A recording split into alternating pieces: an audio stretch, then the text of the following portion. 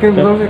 Bisa diceritakan terkait dengan penangkapan dua Eh, jadi kedua tersangka ini kami amankan tadi pagi sekitar pukul 10 di Kelurahan Bataragu.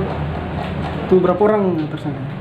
Eh, yang didapat dua orang, tapi mereka ini beroperasi empat orang, satu sudah eh, diproses untuk kasus lain di lembaga pemasyarakatan, yang dua ini kita tangkap. Apakah masih ada atau Eh, satu orang rekannya ini masih dalam tahap pengejaran, tapi identitas sudah dikantongi di Kelurahan Batara Guru. dua-duanya belum ter- Iya. Ini mereka ini sudah spesialis atau seperti apa?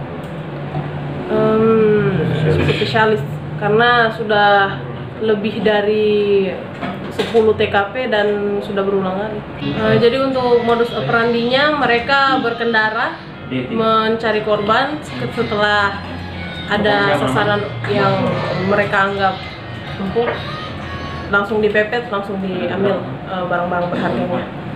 Tidak ada ancaman atau apa seperti ini? Senjata untuk tajam? saja mereka tidak menggunakan senjata tajam. Pasal yang dikenakan pasal 363 ayat 1 ke 4 e. Ada himbauan nggak kepada masyarakat? Eh, jadi saya kami himbau kepada seluruh masyarakat Kota Bau-Bau supaya lebih waspada terhadap barang-barang berharga yang dibawa, jangan simpan eh, barang-barang berharga seperti dompet, handphone di dashboard motor.